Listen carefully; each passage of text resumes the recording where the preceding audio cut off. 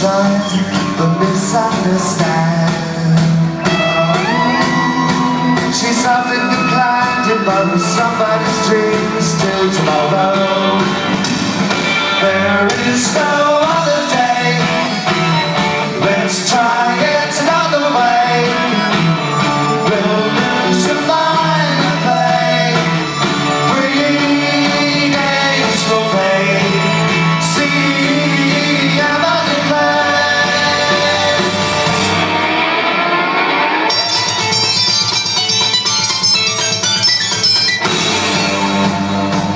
after dawn, Emily cried.